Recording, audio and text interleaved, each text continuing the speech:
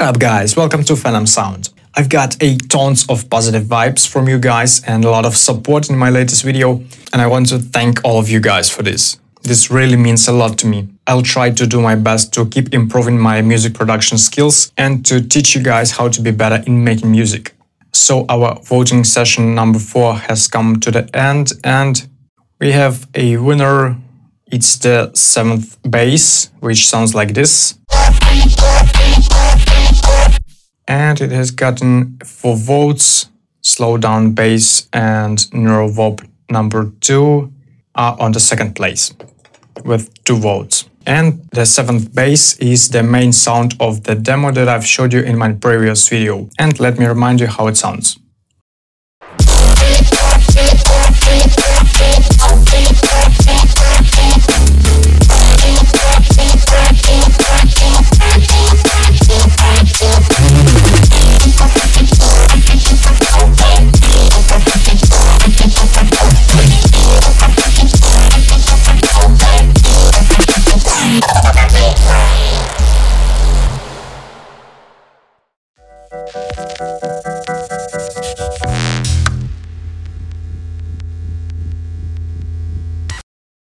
And this is the sound that we are going to synthesize in this video.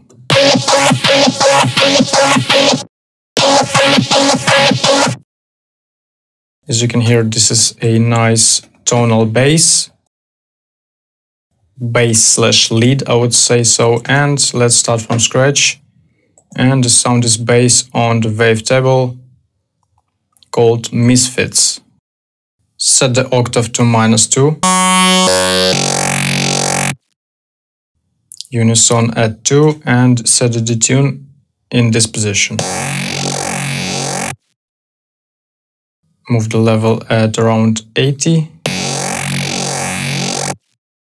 Turn on the second oscillator and select the Evol Long Grease wavetable. Move the level all the way up and set the semitone at 7. Turn on the filter and keep the default settings except let's also turn on the filtering of the B oscillator.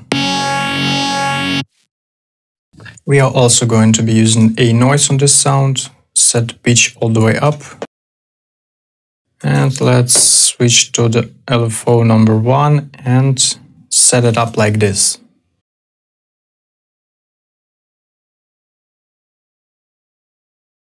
Drag it to the level of the first oscillator, move it up and to the wavetable position of the second one.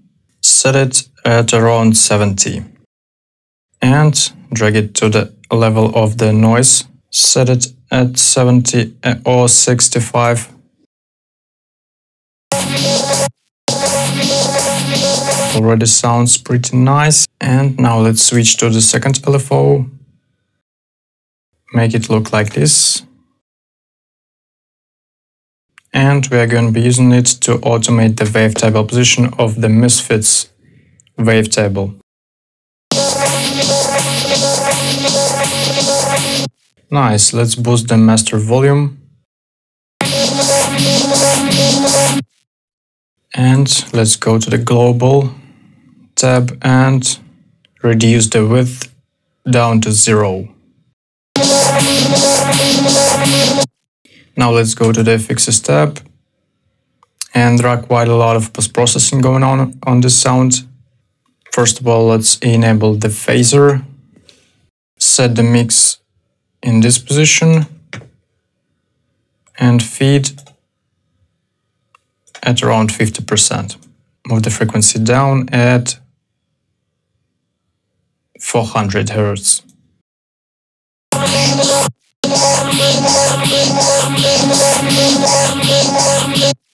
We've got a bit of a movement on the sound, so let's keep on.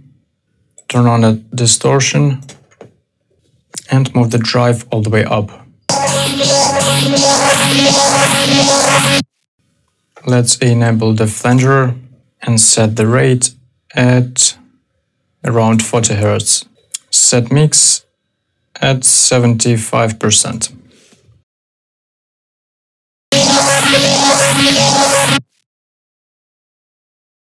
Also, we're going to be using the EQ with a lot of automation. So the frequency of the first band at around 50 Hz, drag the LFO to it and set it at around 70. Set the Q at 80 and also we're going to automate it using the first LFO. Move it all the way down and set the gain at 10 decibel. Move the second band frequency all the way down and drag the LFO to it. Set it at 90. Drag the second Q at 90% as well and drag the LFO to it once again. We are going to set it to minus 60 and set gain at almost minus 20 decibel.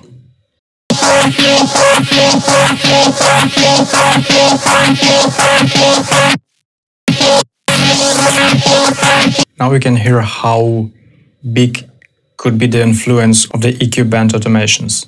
This is the one of the main parts of the Neurofunk sound design. A lot of frequency movements with simple sine waves. And of course, huge tone of distortion and noise. This is the essentials. And let's use the multiband compressor. Set gain at plus 10 decibel. Move the compression on the heights down to zero. The mid compression set it at around 27.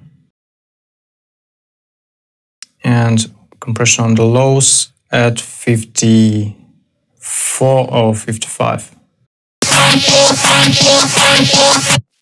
Let's also move the compressor over here, right after the flanger and before the EQ. And let's also use another fix. It's going to be the filter and particularly high pass filter 12. Move the cutoff all the way down and drag the LFO to it. Set it at 60 or 65. Drag the LFO to the resonance. Set it at 12 and move the frequency all the way up and automate it using the first LFO as well. Move it down. And that's it. We are done on the Serum side. Let's check on the post-processing on the FL Studio side. Let's first listen to the clean version of the sound.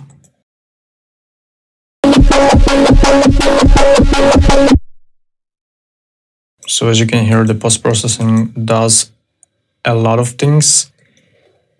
And the first one is the frequency shifter. I've set the drive at knob at 37%, shift to 1.4 Hertz, width is on the default position, which is 100%. It adds the additional movement to the sound.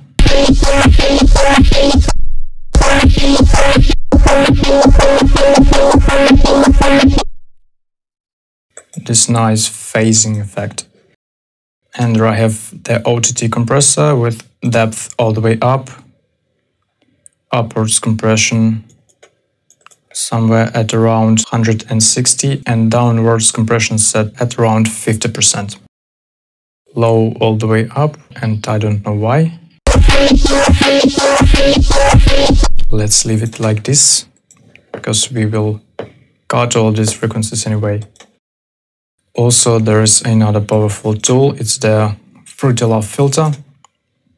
I've just picked a factory preset called I guess it's the compression distortion, which also adds this nice phasey movement to the sound.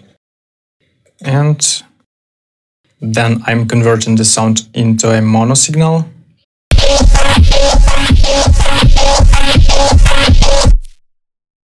And adding some low cut EQ.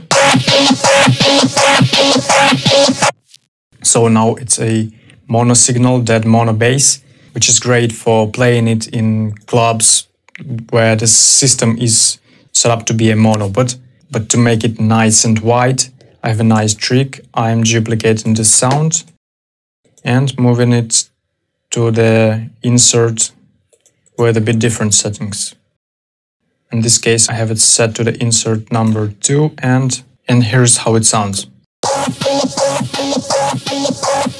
Here I have quite exactly the same set of plugins except there is a free Melda Production Autopan plugin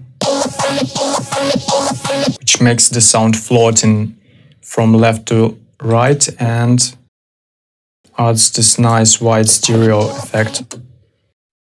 Also there is a stereo imaging from iZotope with quite a lot of width on the third band, high mids and and I've got some mud over here. So together with the main mono bass, it sounds like this. Here's the mono.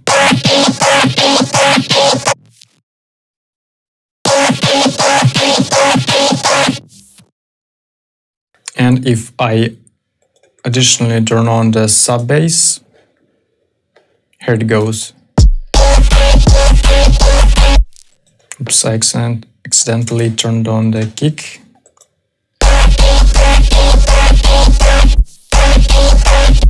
So it sounds nice, fat, and complete.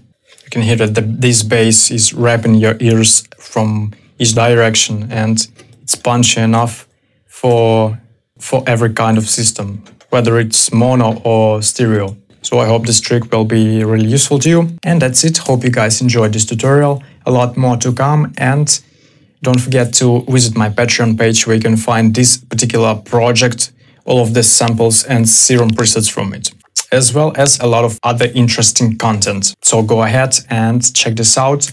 It will be a great support for me and my channel to keep moving and to keep making nice high quality content. Like this video, subscribe to my channel and all that stuff. Share my videos with your friends on Discord, on social media, on Facebook. Just let's help each other to make a better music together. Thank you so much for watching this video and see you in my next one. Bye!